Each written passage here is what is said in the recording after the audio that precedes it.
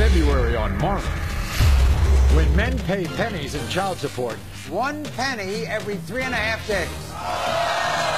these moms demand they pay up. Not to park a car.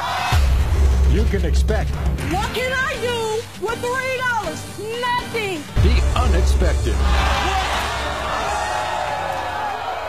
Emily says Mike has given money to support her son.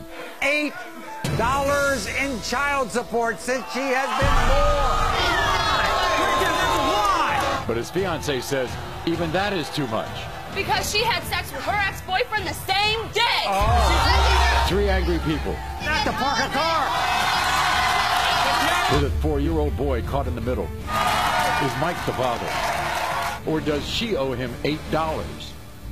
Lakeisha's furious Ben doesn't support her. Ben is giving his son one penny every three and a half days.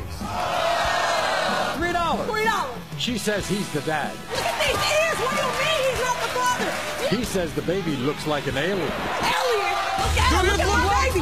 Look at my baby. Don't miss these incredible DNA results. Plus, Three times the diapers. Three times the crime. triplets. Denied by one man. Could have five kids under the age of two. All this DNA drama and more right now